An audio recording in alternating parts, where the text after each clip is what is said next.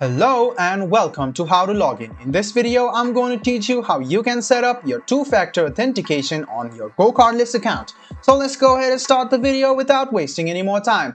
Open any type of browser you have on your PC and go to gocardless.com. If you can't find GoCardless, you can go to the Google search bar and search for GoCardless and you will obviously find it go ahead and click on the first link which appears on your screen and click on it and you can see that this is the GoCardless interface. Once you log into your account, you will see this interface. What you need to do next is click on settings which you can clearly see on the top right hand side of your screen. Go ahead and tap on settings and go to user settings. Now you can scroll all the way down until you find two-factor authentication. Talking about two-factor authentication, the two-step sign-in adds another layer of security to your account helping ensure no one else can log into it. So there are two types of ways you can set up the two-factor authentication or two-step authentication. The first step is using an authenticator app which you can find on the Play Store. Or you can see the received text messages which you can set up with your phone. So both of them are easy you can click on any of these but I'm going to teach you and give you example by setting up with an authenticator app.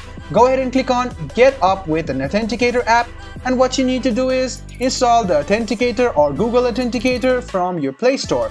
As soon as you install it open the app and you can see the code over here or the barcode. What you need to do is scan the barcode from your phone. So let's go ahead and do that. Open your phone click on scan QR code which you see on your phone and then just scan the code itself.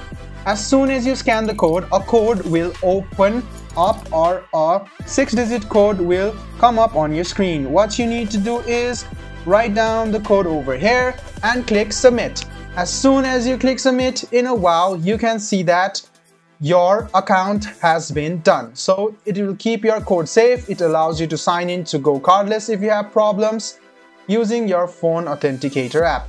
So you can go ahead and click on copy and click OK, I've saved my code or just go ahead and click on download.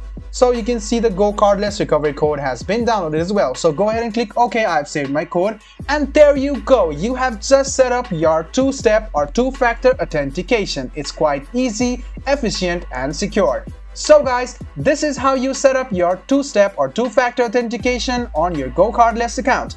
I hope this video was helpful for you. If you still have any kind of confusion, please do mention us on the comment section down below. Like the video, subscribe to the channel and do hit the bell button for more. Hope to see you in the next video as well. Until then, goodbye, take care and make sure you enjoy.